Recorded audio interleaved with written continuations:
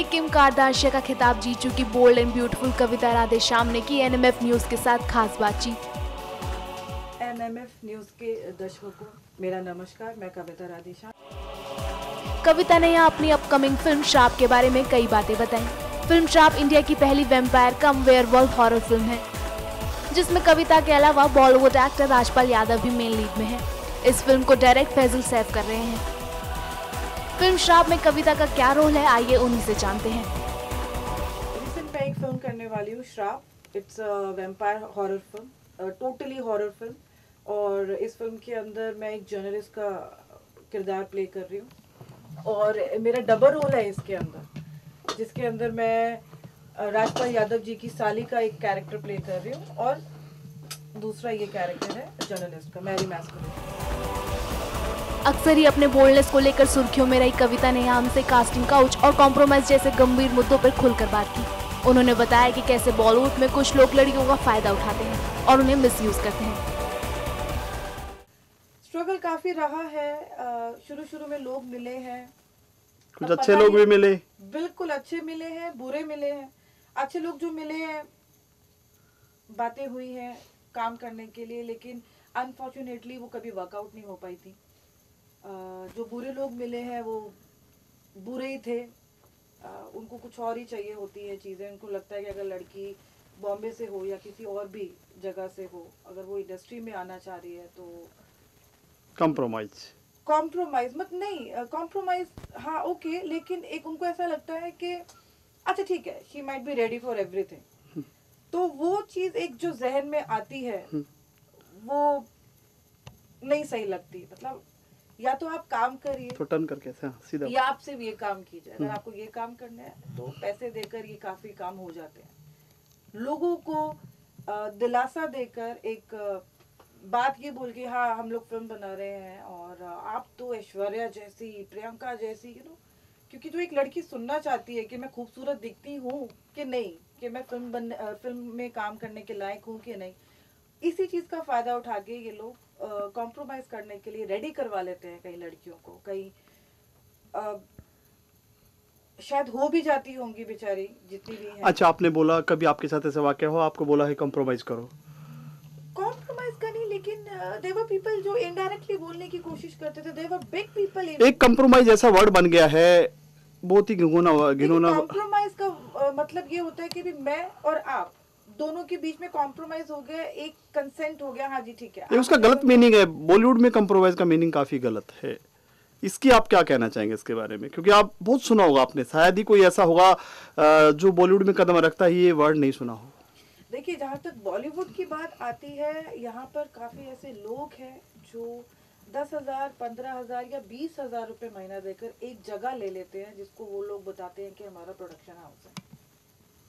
वो लोग जेन्युइन बहुत रेयरली कोई निकलेगा, बाकी लोग सिर्फ़ अपनी हरकतों के लिए लेके बैठ जाते हैं कि ठीक है मंथली अगर हम लोग इतना दे रहे हैं तो हमें लड़कियाँ देखने को मिलेगी। टू बी वेरी ऑनेस्ट अगर मैं साफ़ लफ्जों में बोलूँ तो उनको सिर्फ़ इसी चीज़ों में मज़ा आ जाता है। अदरवाइज़ उनको कुछ भी नहीं करना। वो एक एड तक बनाने की औकात में नहीं रहते, लेकिन बोलते कि हम बड़ी बड़ी फ़िल्म बनाने वाले हैं। हमारी इससे बात चल रही है, हमारी उससे बात चल रही है। तो उसके बिना पर वो कितनी लड़कियों को या इवन लड़कों को भी मिसगाइड जो करते हैं वो नॉट गुड आपके साथ धोखा हुआ कभी? एक नाम नहीं लेकर शेयर करना चाहेंगे दर्शकों के साथ? धोखा नहीं मैं बोलूँगी अ, आपके साथ कभी हुआ ऐसा हादसा? नहीं लेकिन मेरा टाइम काफ़ी वेस्ट हुआ है काफ़ी जगह पे। जब मैं एक बड़े बैनर में मैं गई थी तो मुझे बताया गया था कि वहाँ पे कुछ कास्टिंग होने वाली है। तो जब मैं वहाँ पे जाके मिली तो पता लगा कि वहाँ पे कास्टिंग नहीं हो रही है। वो चाह रहे हैं कि आके मैं बैठूं बात करूँ। क्योंकि शुरू में थी पारदर्शी थी मैं तो जाके मैं बात करती थी कि शायद कुछ हो जाए शायद मुझे पता लगे क्या स्टोरी क्या है। अ, तो मैं जो लड़कियाँ सब कुछ करने को तैयार हो जाती है बॉलीवुड में जी, जी। फ़िल्म में आने के लिए। ये इसमें कहाँ तक सच है?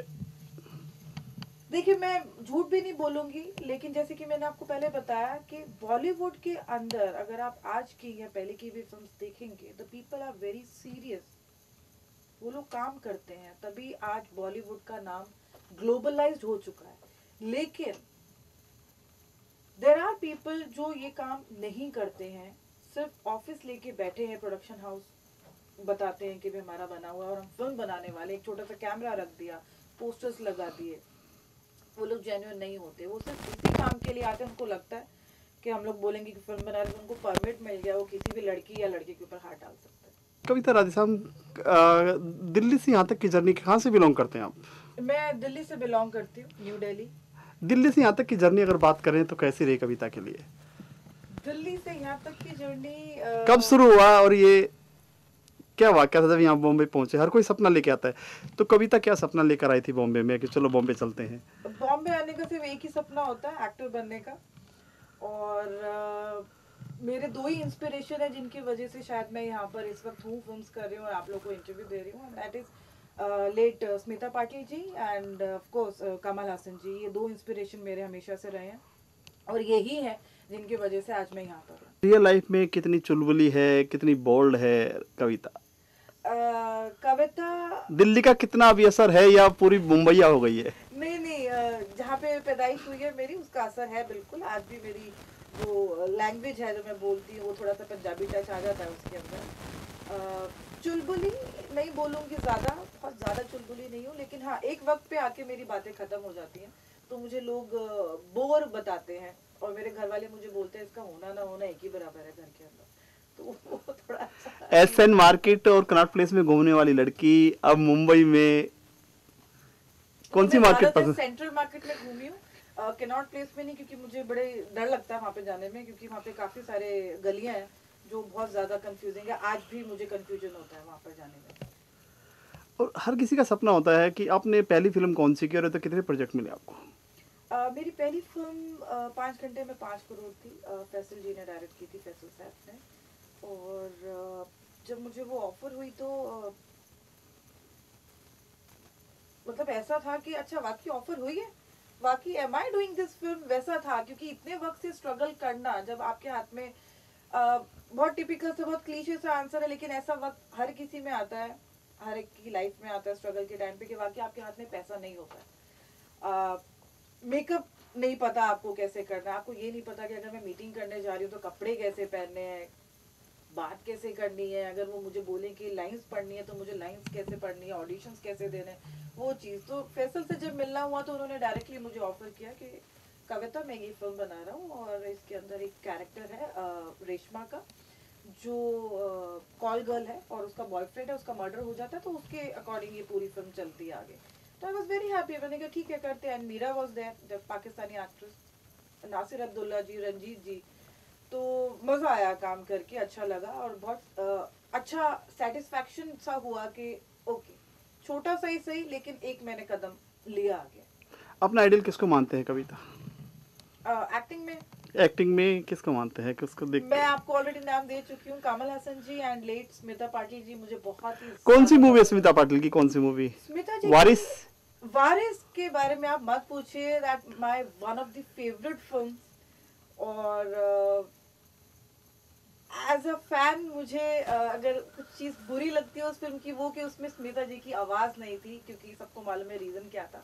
उनका देहांत हो चुका था फ़िल्म से पहले ही। तो बस वही चीज़ otherwise the film was amazing Mandi मुझे बहुत पसंद है उनकी उनकी अर्थ मुझे काफ़ी पसंद मतलब आर्ट मूवी आपको पसंद है?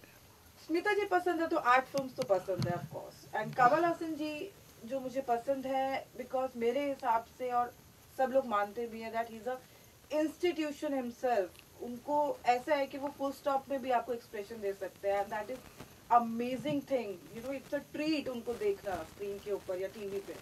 मज़ा आता है उनको देखकर. कोई गाने का शौक रखते हैं कविता? गाने हाँ गाने सुनने मुझे बहुत अच्छे लगते हैं. गाना भी अच्छा लगता है? गाने के लिए मत बोलिएगा. एक गाना कोई पंजाबी में गुनगुना दीजिए अपने फैंस के लिए. आ, कोई भी गाना. हंसिएगा नहीं नहीं। मुझे अ, वारिस का गा सकते हैं वारिस का गाना भी गुनगुना सकते हैं आपकी फेवरेट मूवी आरे मुंडे खारे मुंडे कुछ भी गाना जो भी आपको पसंद है नहीं मैं एक पंजाबी गाना जरूर अ, फिर आपको सुनाना चाहूंगी एंड द सॉन्ग इज हमारे म्यूजिक डायरेक्टर भी आ गए हैं, तो वो जरूर जज करेंगे मुझे but the Punjabi song is ਅੱਖੀਆਂ ਨੂੰ ਰਹਿਣ ਦੇ ਅੱਖੀਆਂ ਦੇ ਕੋਲ ਕੋਲ चल पर देसिया बोल भावना बोल हखिया दे। थैंक यू हमसे बात करने के लिए।